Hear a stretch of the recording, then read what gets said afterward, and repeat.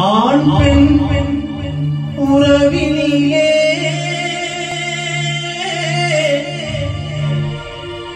பிறந்திடும் ஒரு குழந்தை.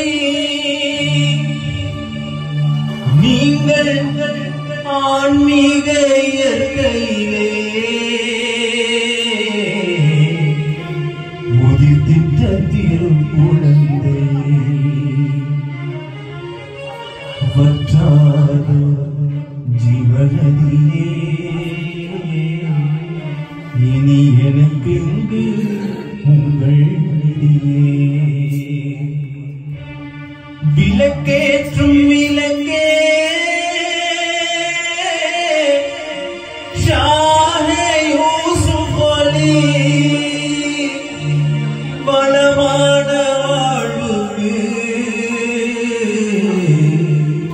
வழிகாட்ட வேண்டும் ஐயா